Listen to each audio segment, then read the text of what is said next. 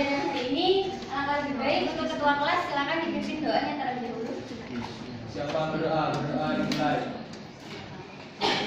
Berdoa selesai. Sudah siap menerima materi hari ini? Jadi siapa yang masih ingat apa yang kita pelajari minggu lalu? Saya. Apa? Nun. Sudah sih?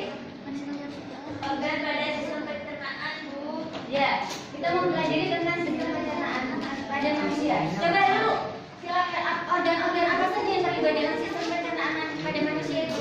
Organ pada pencernaan manusia itu ada mulut, kerongkongan, lambung, pusat, dan juga ada Iya, bagus sekali. Jadi, organ-organ yang terlibat dalam dalam sistem pencernaan pada manusia itu terdiri dari yang pertama melalui mulut, kerongkongan, lambung, usus besar, usus halus, maaf, usus besar, dan juga terakhir melalui anus.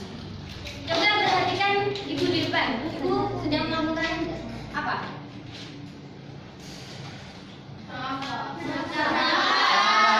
Ya, bernafas.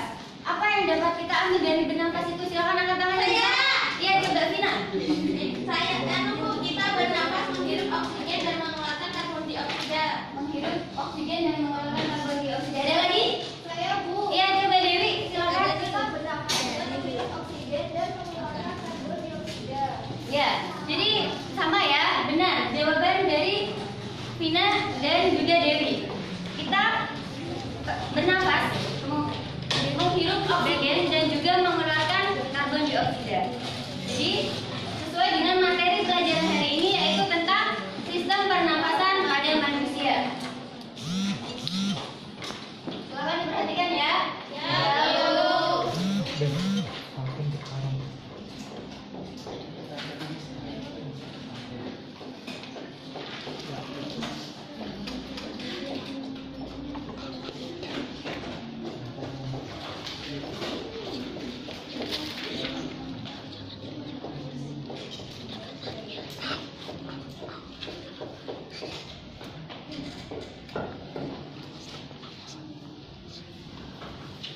Ya, jadi tujuan pembelajaran hari ini yaitu ada tiga. Yang pertama, dapat mengidentifikasi struktur organ-organ pernafasan pada manusia.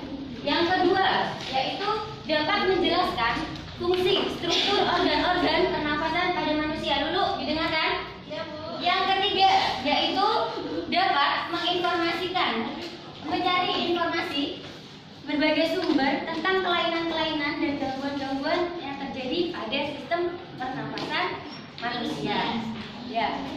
Adapun ibu menggunakan metode di sini, ibu menggunakan metode ceramah, diskusi dan juga penugasan. Dan model yang ibu pakai yang sekarang yaitu picture and picture. Mana picture and picture ini ibu mempunyai gambar-gambar, potongan bergambar-gambar dan kalian ibu bagikan LDS dan ibu bagikan kalian kelompok dan analisis dan urutkan gambar-gambar dengan urutan yang logis. Ya. Coba ba- Iva bantu ibu untuk membawa mengangkat alat peraga ke atas meja. Ibu akan membuat sebuah peta konsep untuk memudahkan kalian dalam mempelajari materi hari ini. Silakan dicatat ya. Ya Bu.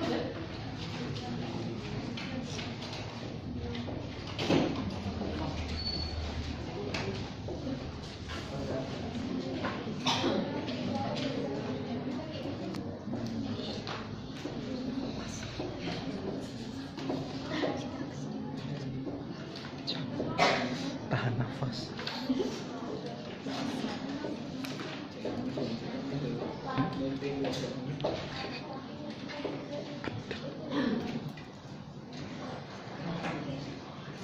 Ya, jadi coba diperhatikan. Sistem pernapasan pada manusia itu merupakan serangkaian atau proses langkah-langkah pengambilan oksigen dan pengeluaran zat sisa berupa karbon dioksida dan juga uap air. Sekarang ibu mempunyai organ-organ dalam sistem pernapasan pada manusia. Yang pertama kita membahas tentang organ dulu ya. Organ dulu kembali ke alat peraga yang sudah ibu bawa di sini. Jadi organ-organ dalam sistem pernafasan manusia yang pertama udara masuk melalui hidung. Yang ini ada A terdapat hidung yang di mana hidung ini tempat penyaringan dan tempat penghangatan. Dan yang kedua kemudian melalui ke faring yang di mana faring ini merupakan persimpangan tenggorokan dan juga kerongkongan. Dan kemudian melalui ke laring yang di mana laring ini pangkal tenggorokan dan terdapat pita suara atau siring. Dan yang terus ke udara masuk melalui jalannya pernafasan yaitu ada yang dinamakan dengan trakea. Dan kemudian di dalam pada trakea terdapat percabangan antara ke kanan dan juga ke kiri. Dan itu yang dinamakan dengan bronkus ke kanan dan ke kiri. Dan terdapat di dalam bronkus terdapat juga bronchiolus, percabangan-percabangan yang dinamakan bronchiolus. Dan kemudian terakhir melalui alveolus di mana alveolus ini terdapat pertukaran oksigen dan juga karbon dioksida. Paham? Paham. Selanjutnya ya. Ya, Kemudian yang kedua yaitu dalam mekanisme pernafasan pada manusia. Yang di mana mekanisme pernafasan pada manusia itu terdapat dua mekanisme. Yang pertama yaitu perna, perna- mekanisme pernafasan dada dan yang kedua pernafasan perut. Yang di mana mekanisme pernafasan dada ini organ-organ yang meliputi yaitu otot antarusuk, otot perut dan juga paru-paru.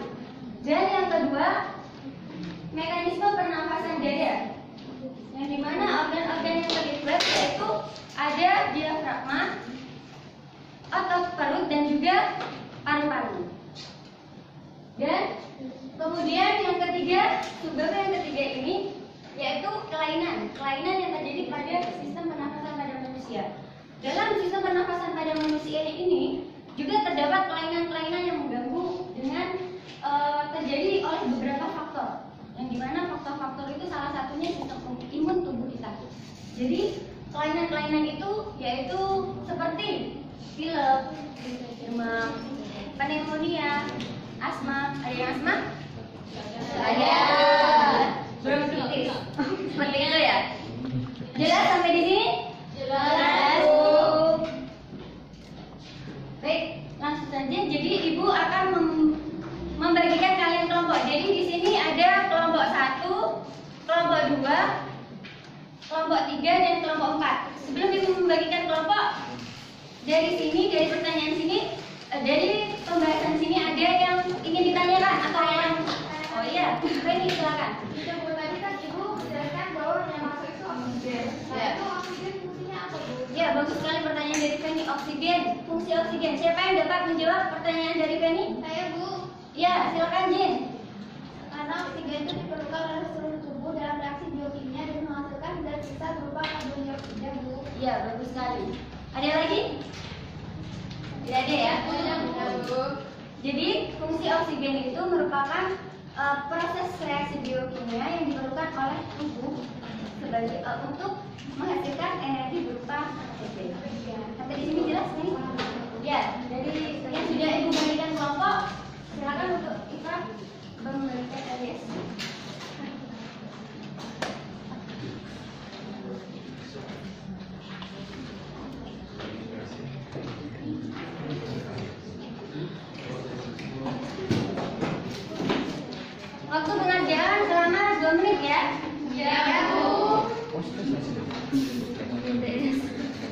అంటే yes